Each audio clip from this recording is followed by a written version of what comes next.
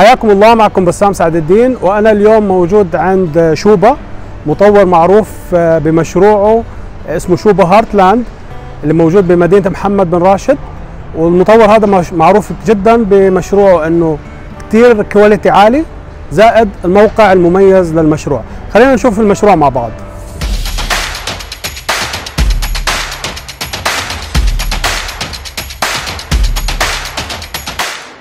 وهون عندنا مشروع Sobha Hartland موجود بمدينة الشيخ محمد بن راشد.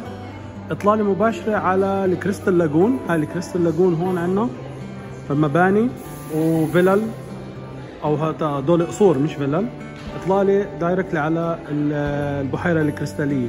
طبعا موقع المشروع نحن من بهذا الاتجاه على شارع راس الخور بنوصل لعند برج خليفة خلال تقريبا 10 دقائق و Dubai Mall.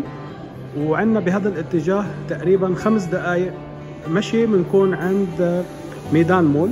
وزي ما شايفين ال area هي عبارة عن بنايات موجودة هون على اطلالة واجهه مائيه ومن هاي الجهه في عندنا هون هدول الفلل كانوا أربع وخمس غرف. انباعوا تقريبا كانوا ب 12 مليون واليوم سعرهم بحدود ال 18 مليون. والأراضي اللي هون هي أراضي لتنبنى عليها ال mansions اللي إطلالات آه، مباشرة على ال canal أو على ال lagoon كان سعرها تبدأ من حوالي 20 مليون واليوم سعرها 40 مليون. والمنطقة فيها تقريبا 30% من مساحة المنطقة هي عبارة عن مساحات خضراء. وعندنا هون مدرستين international Hartland school و North London College موجودين بهالأماكن. موجودين هون وهون. وزي ما شفنا بالمشروع انه المشروع مقسوم لقسمين. القسم الأول هو عبارة عن آه، فيلل وهدول اللي هون townhouses بس طبعا هدول مبيوعين بالكامل.